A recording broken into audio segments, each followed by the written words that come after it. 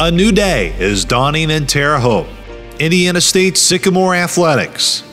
A tradition forged by legends like world champion Larry Bird, Hall of Famer Melanie Beglin, and legendary coach John Wooden begins a new era in its rich history. A program with a storied past will bring forth a modern brand to help write the story for a new generation of Sycamores. Beaming with pride for the state it calls home, the Indiana State Outline remains the cornerstone of the athletic brand.